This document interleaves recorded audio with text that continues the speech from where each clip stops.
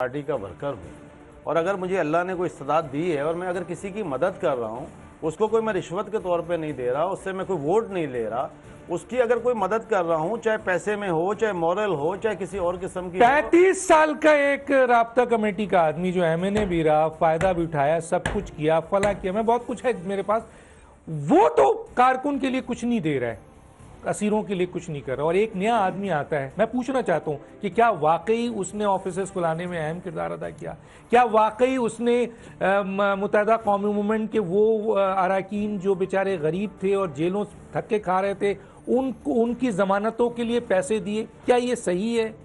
देखें बात यह है कि पैसे दिए या नहीं दिए लेकिन एक आदमी का अगर एक ताल्लुक है किसी से दोस्ती है किसी जगह के ऊपर बैठ के किसी की मदद हो रही है तो उसने पार्टी के लोगों की मदद की। हम्म। उसने किसी पार्टी से गैर लोगों की या किसी और पार्टी के लोगों की मदद नहीं आप लोग सलाहियत वाले लोगों से डरते डरते हम इसलिए हैं क्योंकि हमारी जो परवरिश हुई है और जिस परवरिश से हम आए हैं जिस स्कूल के अंदर रहते हैं वहाँ पे अगर कोई बासलाहियत आदमी आता है तो हमें ये डर होता है कि हम पीछे ना रह जाएँ।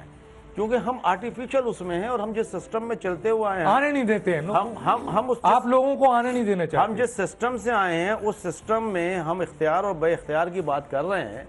तो इख्तियार और बेख्तियार की जो बात कर रहे हैं फारूक सत्तार के साथ प्रॉब्लम क्या हुआ? फारूक सत्तार ने ना सेनेट की सीट के लिए झगड़ा किया ना किसी और चीज़ के लिए किया। उन्होंने ये कहा कि एक बाख्तियार सरबरा होना, चाहिए पूरी दुनिया और पूरी दुनिया में क्या अगर आप एक छोटे से इदारे की बात कर लें कि अगर एक दुकान है और उसका भी अगर जो मालिक है अगर वो बाख्तियार नहीं होगा मतलब आप ये चाह रहे हैं गलती तो की ना आप नहीं गलती तो आप पहले बात सुन कॉन्स्टिट्यूशन ये भी बता ये भी बता ये बताओ मैं पूछूँगा लेकिन क्योंकि अभी टाइम नहीं है। मैं जरा ये बात ये बात सुन लीजिए ये बात सुन लीजिए कि बात ये है कि अगर आप ये समझ रहे हैं कि एक सरबराह को आप इख्तियार दिए बगैर आप ये बोलें कि उसने एक मीटिंग के ऊपर सही या गलत कहीं फैसला करना तो उठ कर क्या वो बाहर आएगा लॉबी में और फ़ोन करके पूछेगा कि आप लोगों की मर्ज़ी क्या है? वो सरबरा नहीं चल सकता। तो इस सरबरा को इख्तियार होने चाहिए। इस पे कोई वो नहीं है। मैं मैं आगे बात करूँ हसनैन साहब। क्या कहेंगे वाकई इनकी पार्टी टूट गई है?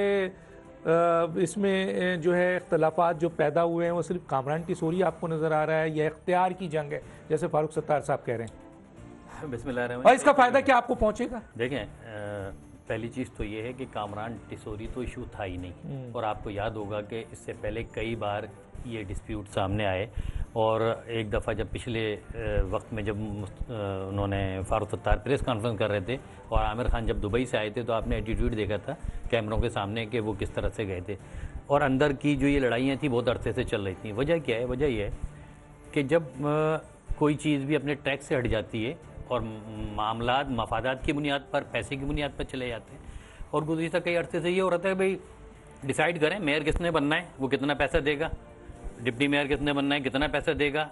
एम पी एम एन यानी पहली दफ़ा कि आप जिस के ख़िलाफ़ लड़ रहे हैं, कि आप मौरूसी और ख़ानदानी जो है वो सियासत के ख़िलाफ़ लड़ रहे हैं, वहीं आप मौरूसी वजारत भी दे रहे थे। पाँच पाँच वजारतें लोगों के बाद होती थी। ये वो सारी चीज़ें थी कि जो एक बहुत बड़ा एलिमेंट अंदर ऐसा था, जो ये सारी चीज़ें बारीकी से एनालाइज कर रहा था और वो देख रहा था कि यार यही यही एक रास्ता है, आसानी से आदमी जो है आगे आ सकता है। इस बुनियाद पर आमिर खान समेत एक बहुत बड़ा एलिमेंट एक तो वो बैठा हुआ है कि जो ये सब कुछ कर रहा है। दूसरा एक जो सबसे अहम बात है वो ये है हम एक अरसे से कह रहे हैं कि इसके अंदर एक वो एलिमेंट भी मौजूद है जो डायरेक्टली अल्ताफ हुसैन और लंदन को सपोर्ट कर रहा है। अच्छा अभी भी है? अभी भी अभी भी। और वो एक अरसे से कोशिश कर रहा था किसी तरह कि इसको कंट्रोल में किया जाए। और आपने देखा होगा कि लंदन का डायरेक्टली उनपे कोई अभी तक इस किस्म का बयान नहीं है। बल्कि डायरेक्टली मैसेज डायरेक्टली मैसेजेस किए जा रहे हैं कि आप बादराबाद को सपोर्ट करें। हम्म, हम्म। मैं ये बात इसलिए कह रहा हूँ आपके प्रोग्राम में कि ये बड़ी सीरियस चीज़ है जो इदारों को देखने की ज़रूरत है हम्म। कि भाई ये एलिमेंट अगर ये मज़बूत हो जाता है तो वही लोग मज़बूत होंगे जो खुदा न खास्ता पाकिस्तान के खिलाफ कर रहे थे। और उसको जवाब सिर्फ़ ये बनाने की कोशिश की जा रही है। यही बात हम फारूक भाई को समझा रहे थे गुजशत कई अरसे से बता रहे थे कि ये सारे लोग एक्सेप्ट नहीं करेंगे आपको और नहीं किया उन्होंने। आज उन्होंने सिर्फ़ सेनेट और कामरान टेसोरी को तो जवाब बनाया है और उस जवाब की आपको पता है डिप्टी कन्वीनियर रह चुके हैं खालिद मकबूल। जिस वक्त डिप्टी सबसे कमज़ोर डिप्टी कन्वीनियर थे ये। नहीं चला सके थे। हटाया था अल्ताफ हुसैन ने। तंजीम